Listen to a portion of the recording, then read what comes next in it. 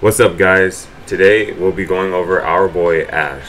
But before we get into the guide, if you're new to my channel, be sure to subscribe and hit that notification button so you're aware when I drop a video. I finally have the community tab open as a way to get to know you guys more. So if you guys ever see a post, be sure to check it out so I can answer any of you guys' questions. But with that being said, let's check out the Ultimate Ninja Warframe Ash. Ash is a fast, maneuverable warframe that possesses a high degree of survivability in the field.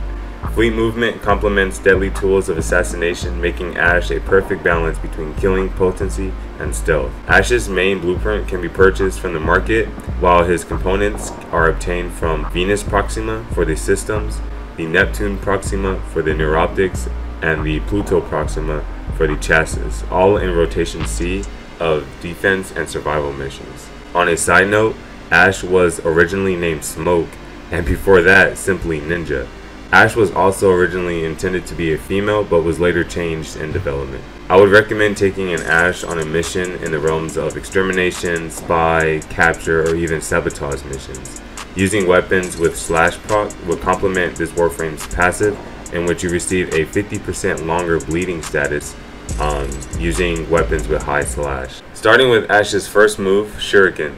This move launches a spinning blade of pain, dealing high damage and impelling enemies to the walls. Higher ability strength mods will increase his damage. Um, the shurikens can also seek out the security cameras for you in case you're trying to run a mission and you don't want to get hit with the doors that drains your energy. Ash's second ability is called Smokescreen, so Ash will drop a smoke bomb that stuns enemies and obscures their vision, rendering Ash invisible for a short time. Range would impact how many enemies are blinded, while duration decides how long you stay invisible. This move can also make your companions invisible, and allows your other moves to cost less.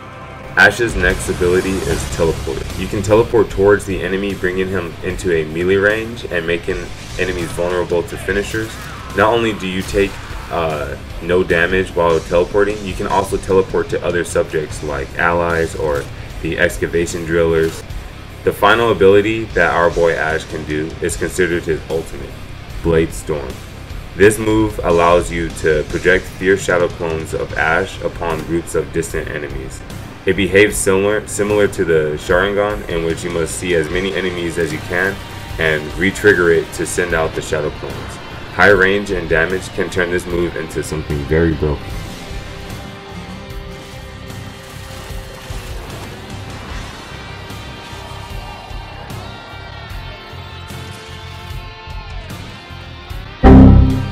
Alright, so now we're ready to use our boy Ash in a in an actual mission. So I'm going with a high range and I would say duration or damage uh, Ash so that my ultimate can seek out a lot of enemies far away and I can just take them out quickly.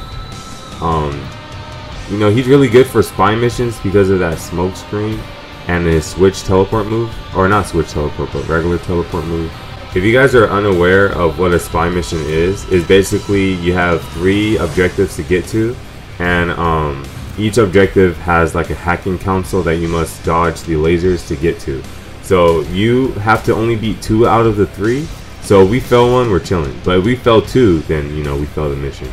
But um, it only matters if you're detected when you're in the hacking phase. So all these enemies right here, you can just skip them. You know, if it causes you too much of a problem, you can go ahead and take them out. Just like, uh, as long as they don't kill you. So like this dude, thank you.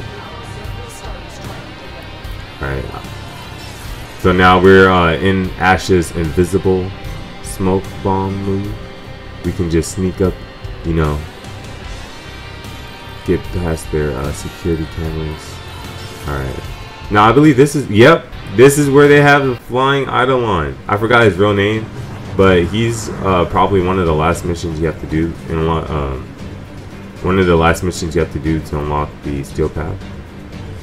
Fuck it. Yeah, it's alright. I already knew See, this is where his teleport move kind of sucks because there's no target. Um, if there was a target beyond the lasers, I would be able to switch with them, and then it would have been good. But you know, I can I can hack it in time. So we got our first one down. Let's go. You no no witnesses, you know. All right, we're chilling. We, we made it past. They thought they can break and barricade themselves away from an Ash. This is actually Ash Prime, so regular Ash will look different than this, but everyone's Ash, you know, looks different. Alright.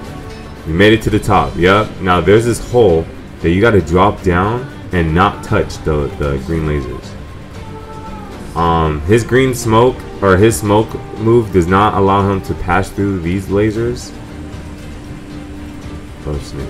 But probably the orange ones that detect you before you, uh...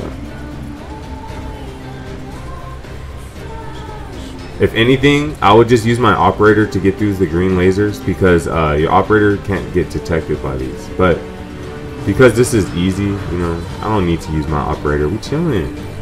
Alright, let's go and pack this. Alright, now we have one more. We can legit just, you know, fuck up on the last one. Alright, we got dude right here. Let's mark him. Let's mark these two. So there's a number filling up. If I go ahead and re-click it, you see that number going down, that means they all died. There's not really like an order, like A doesn't mean it's the easiest one or the hardest one, it's just random. So we're gonna go ahead and solve this one. And that would be the conclusion to this spy mission. So Ash, as you can see, is a very helpful Warframe to use when it comes to missions like this. Um,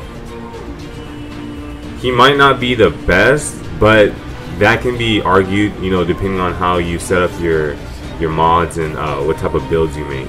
That would be the end of today's video going over Ash. Ash is a very stealthy Warframe, but can be a glass cannon if you want him to. But he's very good and um, you know enemies can't really detect them that easily. So I would recommend you picking up yourself an Ash. If you're confused on anything I said in the video be sure to type down any questions that you have in the comments below and I'll be sure to answer them as fast as I can. But Ash is uh, Ash is really nice. I like using him a lot. I use him a lot for Riven missions um, unlocking my Riven mods but yeah Ash is a definitely must. Any Warframe in this game is actually a must, but that'll be it for today's video. If you guys are new, uh, be sure to subscribe. I'll see you guys in my next video where we'll be going over more Warframes. If you guys also need help, I'll be going live here and there, so if you guys want to join in, um, just send me your username and I'll send you an invite to the squad so we can go ahead and help out with any missions that you have. Um, thank you guys for watching the video and clicking on it.